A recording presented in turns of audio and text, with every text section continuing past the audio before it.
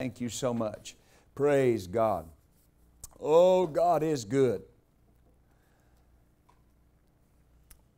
Thank you, Jesus. Well, we want to um, begin tonight once again in the book of Habakkuk, chapter 2. And uh, we're going to continue with this series that we started last Wednesday, just simply entitled Activate. Activate. And we're talking about activating the power and the plan of God in your life, activating your purpose and your destiny within the local church.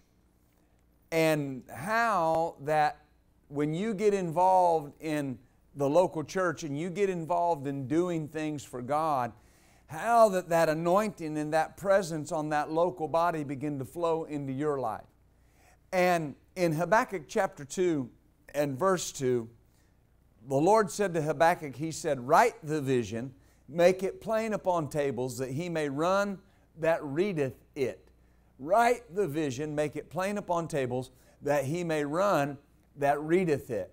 And we made mention uh, last week that, of course, the vision that God gives the pastor of a local church, he writes that vision. One of the definitions for the word vision is simply this revelation, divine revelation.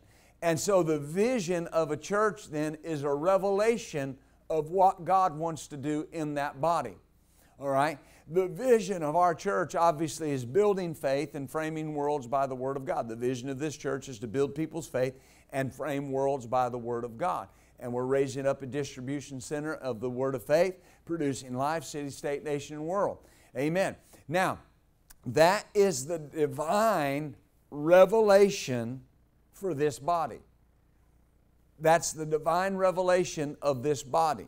Now, in Proverbs 29 and verse 18, Proverbs 29 and verse 18, a familiar passage of Scripture but notice it says, where there is no vision, the people perish.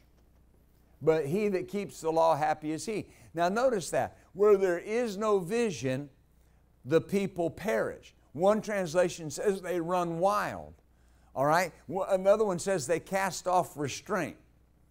This is true in a local church. It's true in your life. It's true in your marriage. It's true in any area if I don't have a vision for what I'm doing, then I have no restraint.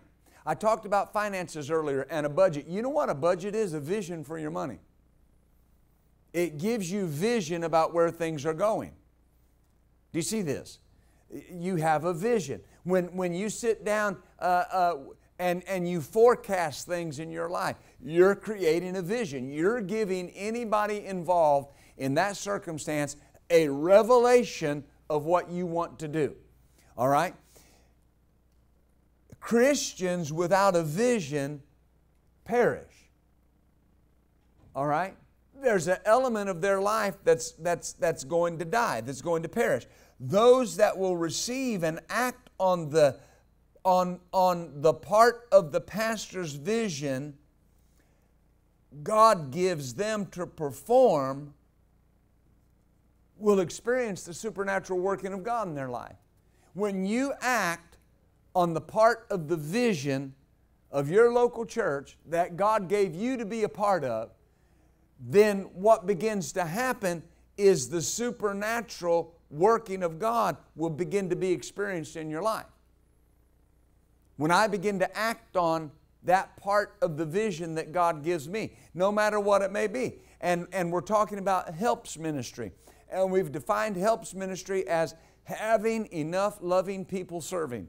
Helps, having enough loving people serving. All right? Well, when someone gets involved in the helps ministry, they get involved in, in the vision. All right? And what begins to happen then is that the working of God supernaturally can begin to function and flow in their lives. Now, I've been in the church my whole life. I mean, my entire life, I've been involved in some concept, uh, some way with the local church. My mother went into labor with me preaching. All right? So, my whole life, I've been in the local church. And the most blessed people I've seen, the most solid people, the, the people that had the greatest desire to do things for God, were people that got hooked up with what God was doing in their local body, in whatever capacity it may have been. Whether it was, it was helping out in the ushers, helping out in the greeters, helping out in the children's ministry. Of course, back then we didn't call it children's ministry, it was Sunday school, all right? or something of that nature, or offering takers, whatever it may be. But the point is, whether you get involved in the usher department, the children's ministry, youth ministry, whether you get involved in AV, whatever you're getting involved in nursery ministry, what you're doing is you're far than far more than just filling a hole or far more than just doing something in the church. You're attaching yourself and connecting yourself with the supernatural ability of God. All right? Every time that you get involved, something begins to change. So the pastor writes the vision, and the ministry of helps is there to uplift and support his vision for that church, whatever it may be. Hallelujah. And this calling to pastor is supernaturally given and endowed. Notice in uh, 1 Timothy chapter 3. 1 Timothy chapter 3.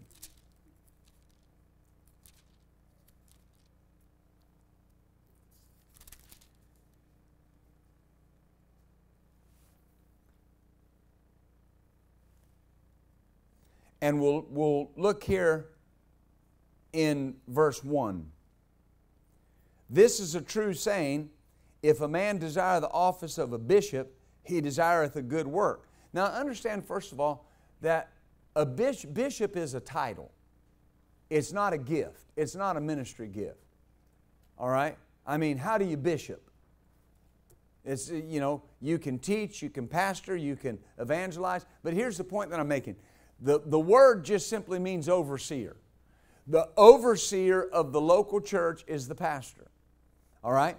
So he says, if the man desire an office of a bishop, he desireth a good work. A bishop must be blameless, husband of one wife, vigilant, sober, good behavior, given to hospitality, apt to teach, not given to wine, no striker, not greedy of filthy lucre, but patient, not a brawler, not covetous, one that ruleth well his own house, having his children in subjection with all gravity. Notice, for if a man know not how to rule his own house, notice this, how can he take care of the church of God? So that's the role of the pastor is to take care, to oversee, to watch over the church of God, the local body, the local assembly. Hallelujah. Now, the Greek word for pastor is the same word for shepherd. It's a Greek word, poimen, P O I M E N. It's pastor and shepherd are interchangeable. Now, in the New Testament, you'll only see the word pastor one time Ephesians chapter 4, all right, where it lists the fivefold ministry gifts apostle, prophet, evangelist, pastor, and teacher. Now, there are references over and over through the New Testament to the office of bishop or to the office of overseer. It's the same office. Now, I'm going through this for a reason. This office of the pastor, the role of the pastor, is to see that the spiritual needs of the congregation, his flock, are met. That's the role of the pastor. Notice here in uh, Acts chapter 20 and verse 28. Acts chapter 20 and verse 28, one of my favorite scriptures, especially as it concerns this office and role of the pastor. Now, I'm outlining this as we, we're, we're going to look at the, the helps ministry. Acts 20, verse 28. This is, this is Paul. He's talking to uh, pastors here in Ephesus. He's met with them. They've had a, a great conference, if you will, and now he's about to go across the sea and start other churches. And he's leaving Ephesus. And he says, Take heed therefore unto yourselves and to all the flock over which the Holy Ghost has made you overseers. Over which the Holy Ghost has made you overseers. Pastoring is not a job that you get paid for. It is a it is a it is a office that the Holy Spirit has put that person in. Ministry is not a job, it's a calling. And he said the Holy Spirit made you overseers to, to what? To notice, to feed the church of God which he hath purchased with his own blood. For I know this, that after my departing, grievous wolves will enter in among you, not sparing the flock. So notice this this office of the pastor, the role of the pastor, is to take care of the needs of the spiritual flock, not just to preach, not just to, to, to, to be there to have a ministry. is to take care of the spiritual needs of the flock, to feed the flock of God which is among you. Now notice 1 Peter chapter 5. 1 Peter chapter 5. And verse 1.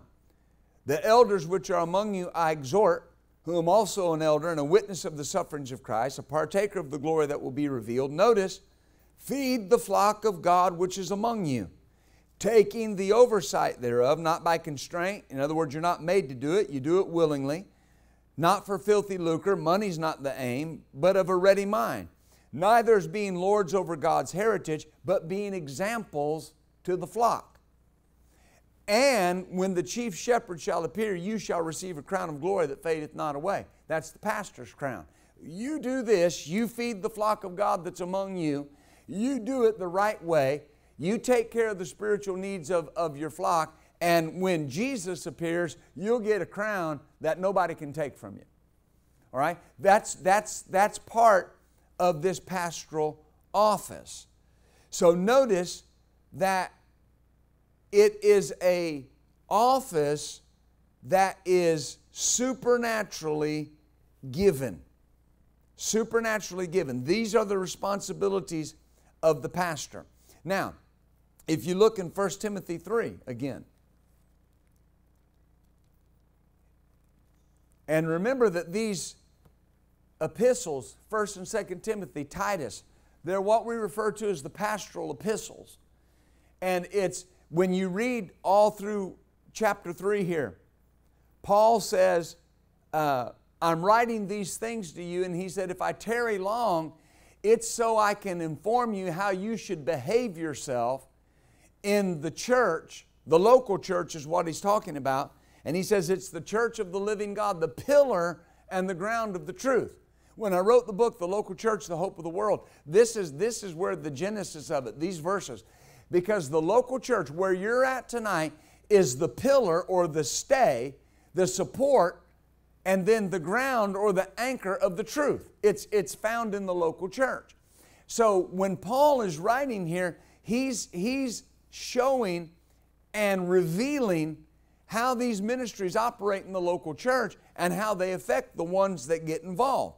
Now, here in 1 Timothy chapter 3, and notice in verse 8, likewise must the deacons be grave, not double tongued, not given to much wine, not greedy of filthy lucre, holding the mystery of the faith in a pure conscience. And let these also first be proved, then let them use, notice, the office of a deacon, being blameless. Even so must their wives be grave, not slanderers, sober, faithful in all things. Let the deacons be the husband of one wife, ruling their children and their own house well. For they that have used or ministered in the office of a deacon well purchase to themselves a good degree and great boldness in the faith which is in Jesus Christ.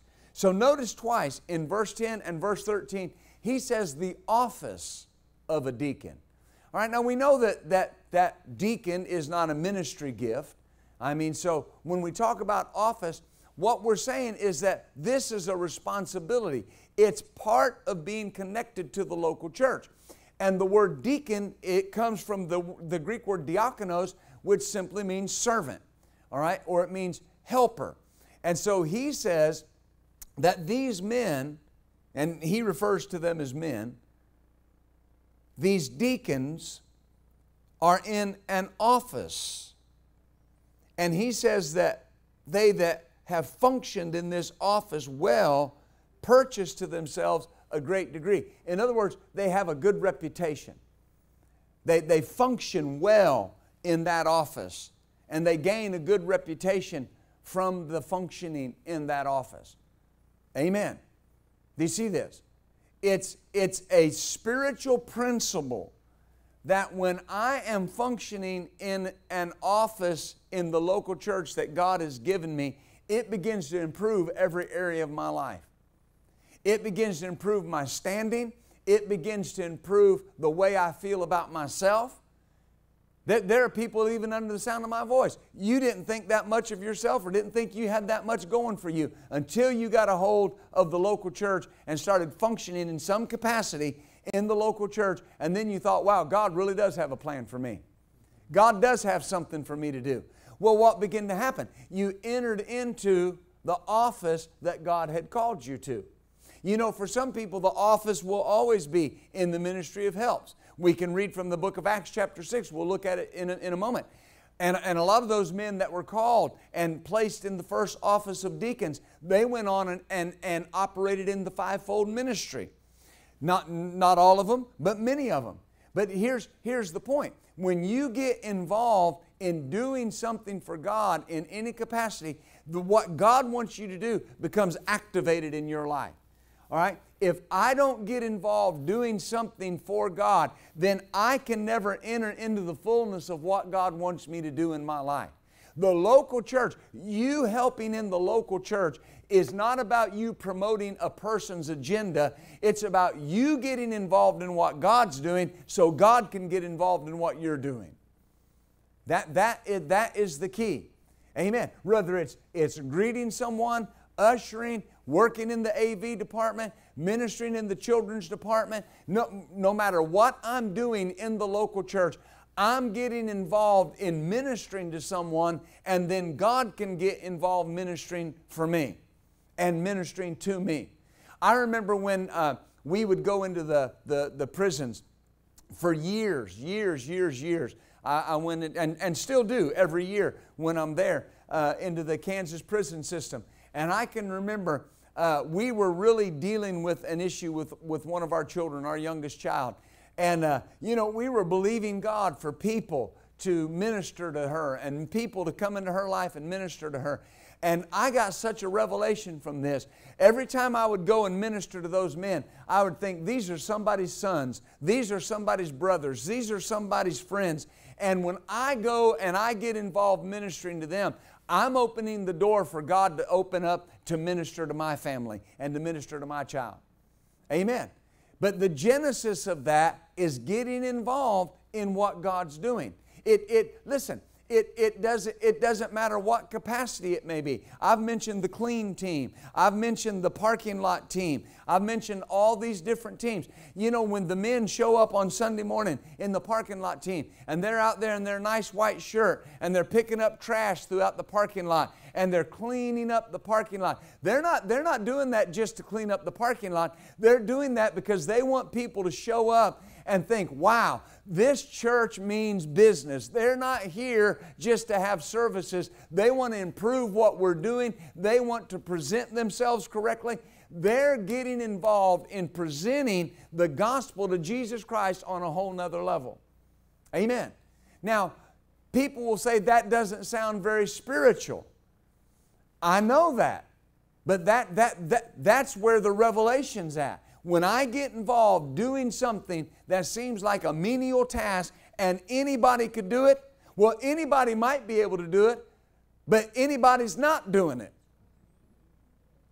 Amen. So if nobody's doing what anybody could do, then that means somebody needs to be doing what anybody could do if they would. Amen. You're that somebody. You're that anybody that could do it. And it doesn't matter what it may be. It, I mean, it doesn't matter, matter what it is. You know, sometimes we look at things and we think, well, you know, pulpit ministry. What is pulpit ministry? You know, we think pulpit ministry and we think somebody singing, somebody playing an instrument, somebody in the pulpit. Listen, the, the, the musician, the singer, they're just helps ministries. And I'm, I'm, not, I'm, not being, uh, I'm not demeaning it. it's, it's helps. They are anointed, they are, they are full of the presence of God and the power of God, but they're anointed to help set the atmosphere for the Word. Everything in the church is geared towards getting the Word into people's lives. We have people that come and turn the lights on, turn the air conditioner down. Why? Want you to be comfortable. For what? So you can hear the Word. We have people that come and clean the church and vacuum and make sure the bathrooms are clean and make sure everything's taken care of and the tissue boxes are full and the chairs are straight. Why? So you can come and hear the word in a clean place. So when you go in the bathroom, it doesn't smell bad. It's clean. It's it's it's germ free. It's as clean as we can make it. Why? We want you to understand that we are respectful of the people that God's bringing us and we have a helps team that wants to make sure you get the word the way you need to get the word. Amen. Do you see this? So he says twice in verse 10 and verse 13 that it's the office of a deacon. So these deacons that were appointed were recognized as being in an office. All right, so it's, it's a respectable endeavor. Amen. This word, we talked about it, diakonos, servant, especially one that waits on tables. You know, now religion has turned the office of the deacon into something that it was never supposed to be. And you know, they, they, they basically have turned that into the board that runs the church. But the deacon was a servant that enabled the pastor to give his time to the Word of God and prayer. And we'll read it in Acts 6. It says when those deacons got involved in their job and operating in their office, that what happened was the Word of God multiplied and a great number of the priests were obedient to the faith. The Word of God multiplied. Have you ever thought about that? Every time you come and you get involved in what you're doing, see, when you greet people out there at the front door, you're not just shaking hands and greeting people, you're an extension of the pastor. The pastor is welcoming that person into the church. When you usher and you help someone and you, you direct someone to a chair or you receive the offering, you're an extension of the pastor to that person. And you are enabling your man or your woman of God to give their time to the Word of God and to prayer. And what begins to happen then is the Word of God begins to multiply, signs and wonders begin to multiply, things begin to happen that would not happen if helps ministry was not where it should be. Amen. Listen, without a good helps ministry, a pastor's like a hand with no fingers. It's hard to get a grip on things. It's hard to do everything that needs to be done. Hallelujah. I, have known ministers before, and I've watched over the years. And, and you know, I'm, I'm a big one to watch. I'm a big one to look at what's going on. And, and I've watched, and I've watched pastors, and, and here's what they'll say Well, you want something done right, do it yourself. Or teach somebody how you want it done. And then it's like you doing it. Right? But that pastor that say you want something done right, do it yourself, he's running around doing everything. He, he's running around doing everything, and he's not able to give the proper time to the Word of God and to prayer. Now, listen, I love the local church. I love the people in my church. I, I want to be I want to be there for everybody as much as I can. But I realize even churches on the scale that ours are on, I can't, I can't be at everything everybody wants me to be at, and I can't do everything everybody wants me to do. But I can train people to help me do it. Amen. I got, I got a, uh, I was on the phone uh, before service tonight with one of the leaders from the Kansas location, and, and a very dear person in my life passed away and, and moved to heaven. And uh, the services are tomorrow. Well, obviously, I live here. I can't be there on Thursday because I need to be there on Sunday. So uh, uh, we sent flowers, and, and the, the gentleman called me, or I called him actually tonight, and he was asking me how he wanted me to do things or how I wanted him to do things. And he's going to those services for me. And he's going to go and he's going to say, Pastor Steele sends his condolences. and meet with the family and meet with the church. Now, people will say, yeah, but you know, Pastor, why is that such a big deal? Because it's enabling me to stay where I need to be, doing what I need to be doing. Amen. Do you see that? And he's operating and functioning in that office the way that he should. Every born again believer that attends a local church is supposed to be involved in that local church in some capacity, whether it's praying for the pastor, whether it's operating in the helps ministry. You may have a fivefold ministry gift that you're supposed to be operating in. But the point is, is when you submit yourself and give yourself over to the helps ministry and you give yourself over into help making that body what it should be, then God gets involved in your life. Amen. Do you see this? So, a deacon or a helps minister is one that's appointed for an ongoing or permanent service. And here's the interesting thing appointed by man. Look at Acts chapter 6. Am I helping you with this? Acts chapter 6.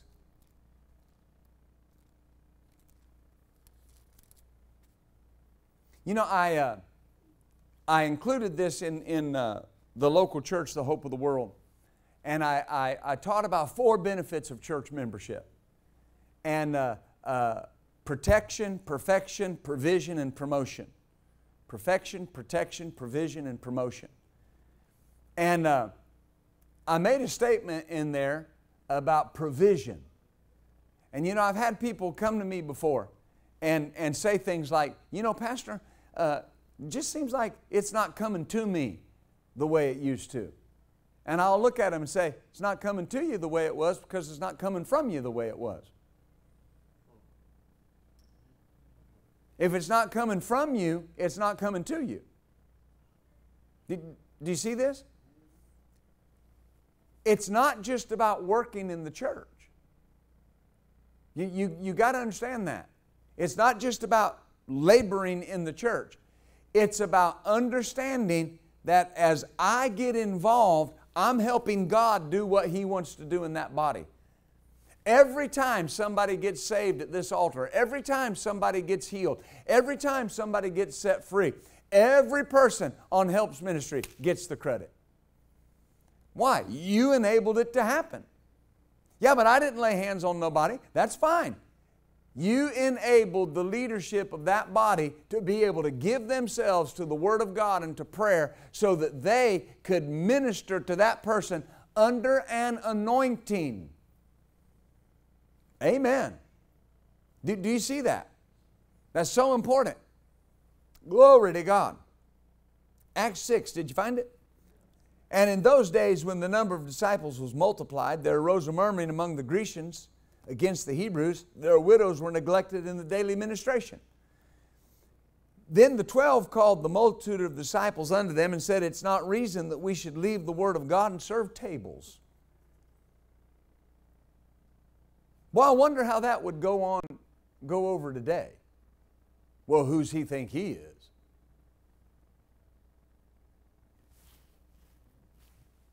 Right? I've had people say that about their pastor. Well, you know, our pastor, before he, you know, he used to be able to vacuum the floor himself. Well, he still can.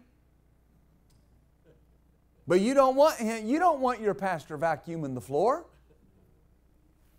It's not that we can't. I've held every job in the church. But you don't, you don't, want, you don't want your pastor cleaning windows, taking out the trash.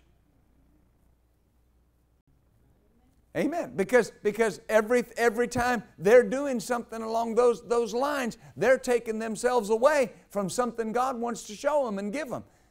My responsibility, my job is to keep my spirit in tune with what God wants me to do.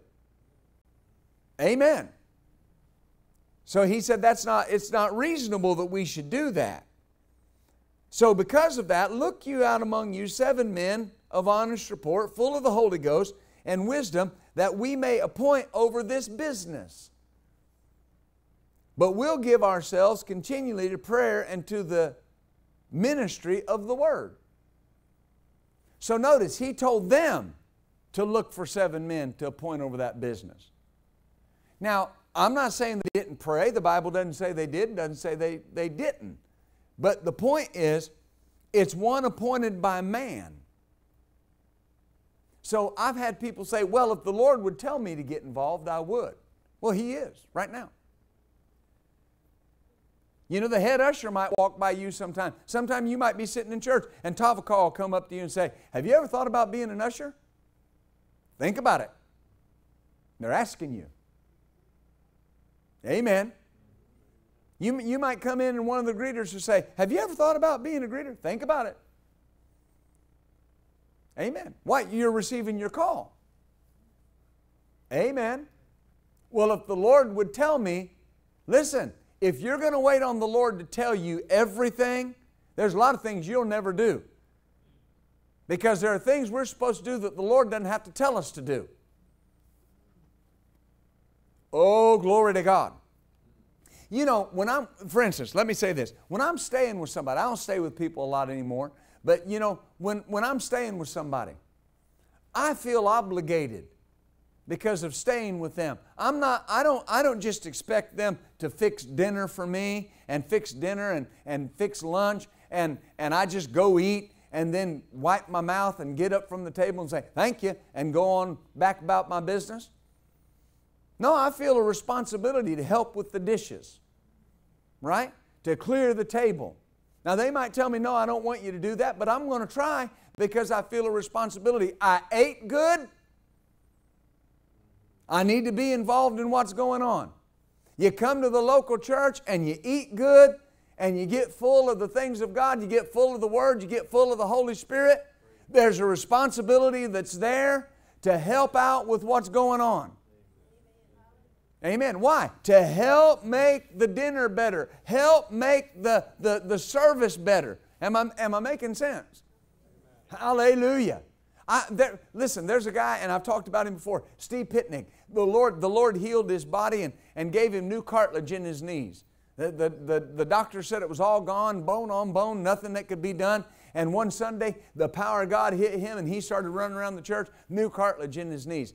When that guy got a hold of the Word of God, he was in jail. He was coming to a Bible study that, that I was doing there. And uh, he had, I mean, his family was Catholic. He had never known anything about the things of God, the love of God, the forgiveness of God.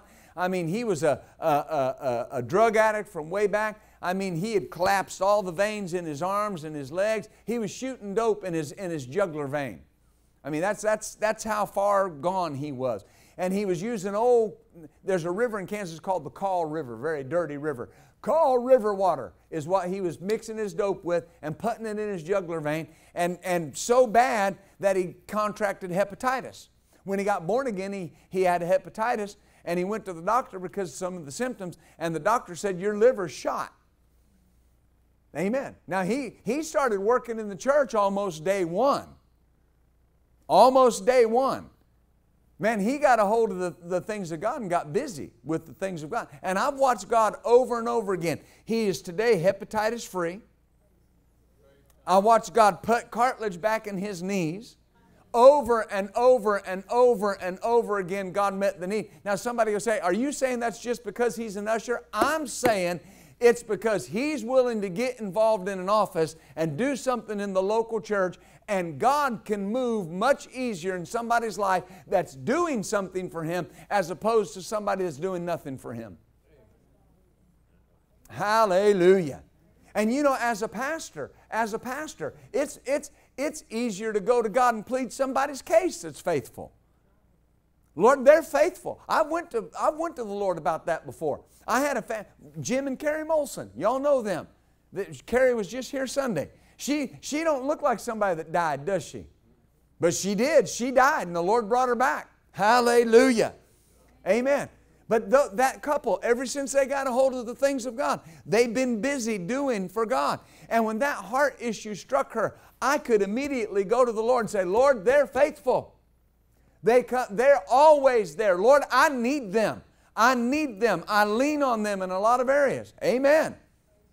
Do, do you understand? Now, I can do that for everybody, but I can't go to the Lord about everybody and say, Now, Lord, they're faithful. Not just, talk, I'm, y'all are here, so I'm not talking about you, right? Amen. You understand? But you, you can't do that for everybody. Do you see this? And, and, and, and when, when, when, when somebody comes to the church and they, they are greeted by a greeter that's in that office doing what God wants them to do, they walk away thinking, God was God met me at the door today.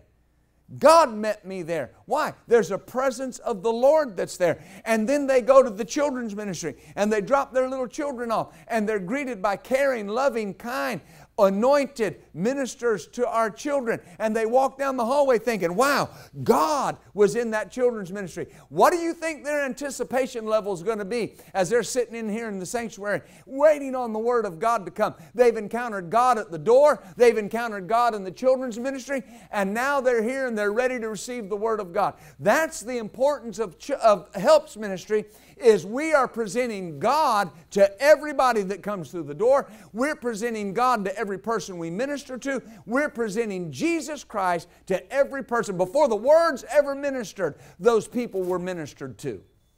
Before the word ever comes forth. Amen. Glory to God. Do you see this? So, deacons were those servants, those, those helpers. So, in helps ministry, God's at the door, God's in the nursery. Sunday, I was so blessed. I went to get Lily out of the nursery, and Miss Gloria and I think was it Mary was was helping in the nursery. And I don't know, we had several little kids in the nursery that day, six or seven. Man, that was such a blessing. I, I went in there, and they had all been ministered to. They had all been blessed. They had all they had all, all had and, and exposure to the Word of God. Hallelujah. You know, heaven will only know the people that you touched doing something for God in whatever capacity it was. How many, how many people are going to show up in heaven and are going to say, I went back to that church and my life was irrevocably changed because the usher, when I came in and didn't know where to sit, instead of making me feel silly, he found me a good seat and set me down and blessed me and, and told me where everything was. How many people are going to show up in heaven and say, I had totally written church off, but I went to that church and that greeter was so sweet and that greeter was so kind and that greeter was so wonderful and loving and compassionate that when I came in, they didn't care how I looked, they didn't care how I smelled, they didn't care what was going on in my life, they didn't care what color I was, they didn't care where I had failed. They welcomed me into the house of God, gave me a place to sit, gave my children somewhere to be ministered to, and helped me turn my life around. Hallelujah. Do you see that? And people will come to the local church. And, and very often they're quick to, to talk about the pastor and give the pastor credit. But I've come to understand something a long time ago, years ago. We're a body. We're a body. And, and, and, and the head I know the head is responsible for determining direction, but you know, my body loves my arm, my body loves my leg, my body loves my eyes, and my body needs every part to keep functioning the way that it should function. You're here because of the Word, but you're also here because of the body. You're here because of relationships. You're here because God's moving in your life through the people that are sitting around you. Oh, glory to God. I'm almost done.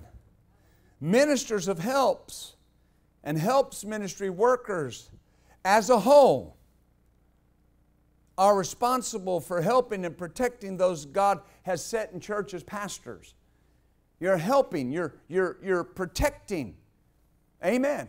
You're, you're making the job of ministering to God's people so much easier. Hallelujah. It's such a blessing to know. You know, when we get up in the pulpit on Sunday, we don't have to be concerned. Are our children being ministered to correctly? They're hearing the Word. Are our babies in the nursery, are they being ministered to correctly? They're hearing the Word of God.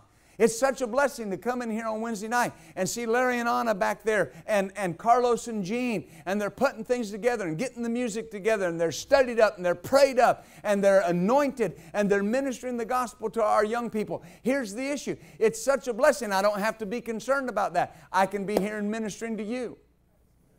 Amen. Glory to God. The helps ministry lifts up and supports the pastor. That's so important. That's so important. There's a, a, minister in, in my life that's very special to me, very, very special to me, and I love him dearly. But he's one of those ministers. He just, he's got to do everything himself. And when I'll meet with him and have dinner with him and, and visit with him, he's always telling me how wore out he is and he's tired. And now he's talking about wanting to go to heaven. Well, I don't want to lose him. But how do you look at somebody and say, You're doing everything? See, that's a protection. That's a protection. I will have pastors ask me to come preach at their church, and what they want me to come in and do is to minister to their people about how to treat their pastor. I'm not the one that should come in and tell people how to treat their pastor. He should tell people how to treat their pastor. One of the first messages I preached here on a Wednesday night was Call me Pastor. People say, What do I call you? Pastor. Well, what if I want to call you Philip? Then you only get what Philip has. I mean, that, that you know, if, if I'm just Philip to you, then you just get what Philip can give you. If I'm Brother Steele to you, you just get what Brother Steele can give you. But if I'm your pastor, you get whatever's in that gift. Amen. Hallelujah. I had, some, I had somebody come to the church one time. You know what they said? They, they said, I'm only here because of Pastor Michelle.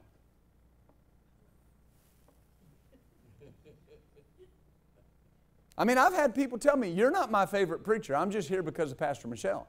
I don't care why you're here as long as you're here. As long as the words, as long as the words changing you. Amen. I've had, I've had people talk about how one of the associate ministers was one of their favorite preachers. I don't care. As long as, as, long as the words change you. Amen. But, but understand something. Here's what I'm saying. When you tap in and that person becomes your pastor, and you get behind the vision of that church, then what's on that person's life begins to flow in you. I'm going to tell you this. I'm taking a, a I'm going a little over our hour power, but not very much. I only got one more comment. Listen to me. Listen to me. Something, I'm telling you, when you get involved in the vision of this church and you get involved in the anointing on this church, I'm going to tell you, you can't lose. And I'm, I'm going to tell you why. I can't lose. You, I'm going to tell you this, and you do whatever you want to with it. You are hooked up to me, and you can't fail. You can't fail. People say, How can you say that? Because I know the anointings on, that's on my life. I can fall in an outhouse and come out smelling like a rose. The favor of God is on our life. Amen. And what people begin to do is they, they look around and they see a growing church and they see a church that's coming up to another level and they see a church that's building on the Word of God.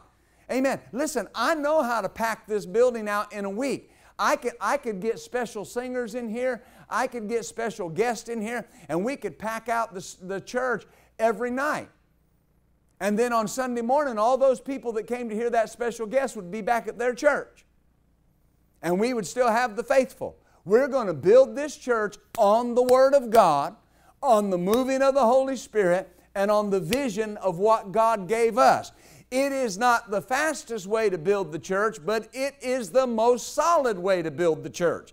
And then once the church starts growing bigger, there's a foundation that's laid. You got to understand something. I'm telling you, as your pastor, I'm here for the long haul. I'm here for the rest of my life. What God has asked me to do is what we're going to do. This is not a flash in the pan. This is not an, an effort, a tryout. This is we're going to do what God told us to do.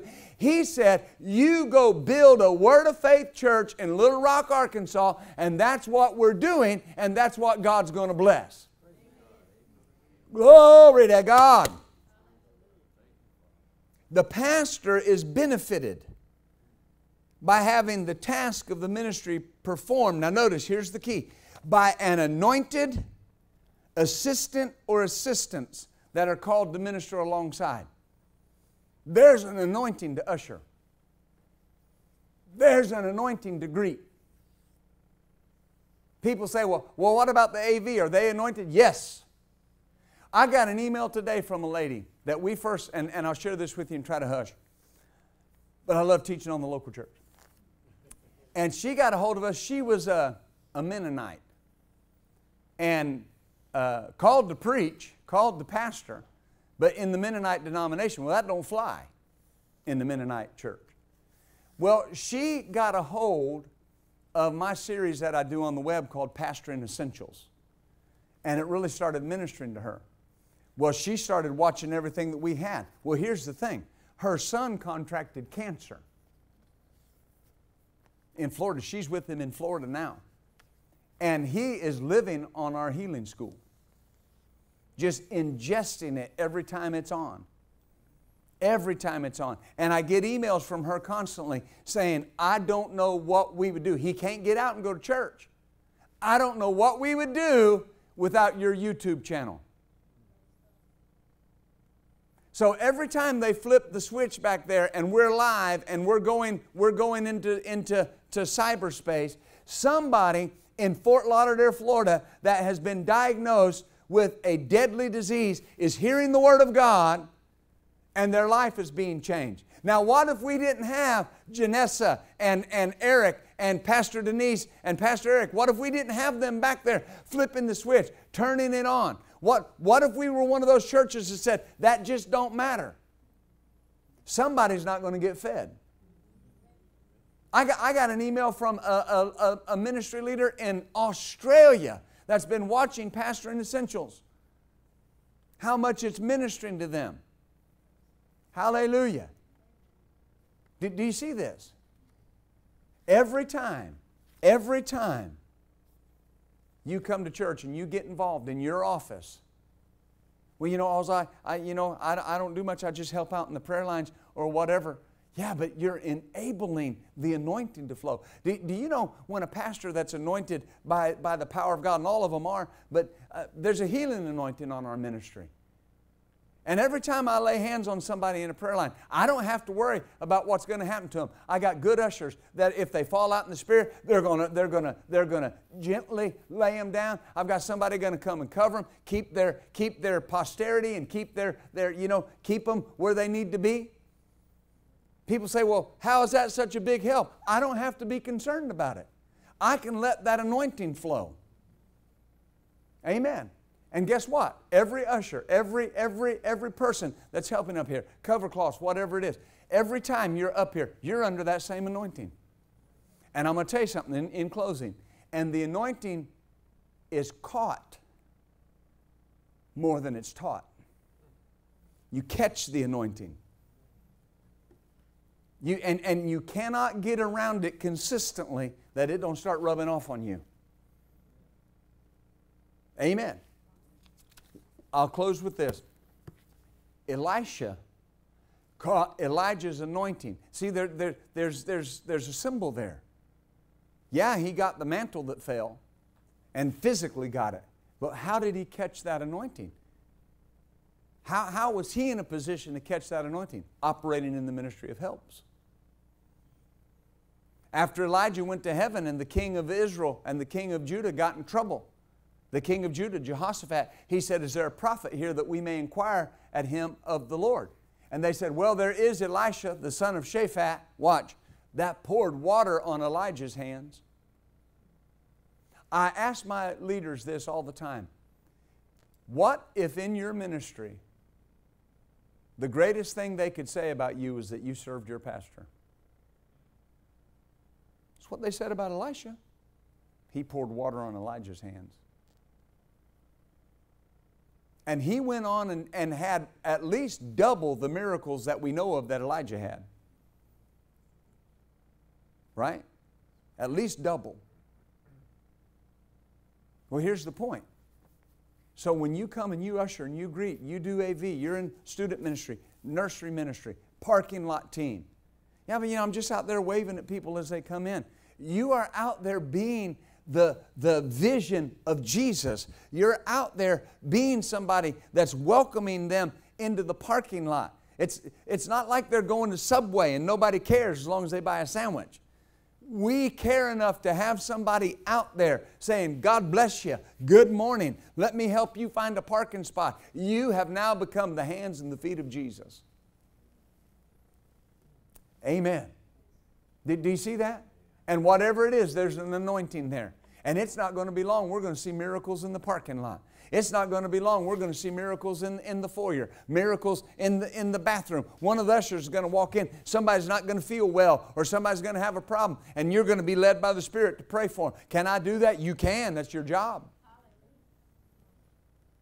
You're not sitting under this anointing for no reason.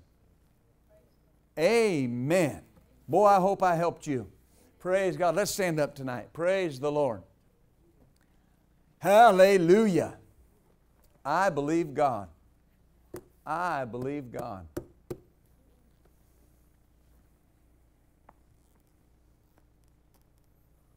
Hallelujah. Now, brother, I've, I've met you before, and I got something from the Lord to say to you. And this is exactly what He said to me. If you won't give up and you'll steel yourself to get through what you've been facing, God is going to pour out up on you blessings in such an abundant measure, it's going to change the face of what you want to do for God. It's going to change it. But there's going to, now listen, there's going, there's going to be a little bit longer of this challenge you've been facing. But if you'll just set your face like a flint and get through it, God's about to pour out abundance on you. I believe God. I believe God. Amen. I believe God. Thank you, Jesus. Well, don't forget, obviously, Sunday morning, 10 o'clock Sunday night, 6 o'clock, we're going to have a great, great time. Prayer at 9.30, and uh, God's good to us. Amen. Thank you all for being here tonight. Let's say our vision, shall we? The vision of this church is to build people's faith and frame their world by the Word of God. You and I will always be world changers. God bless you.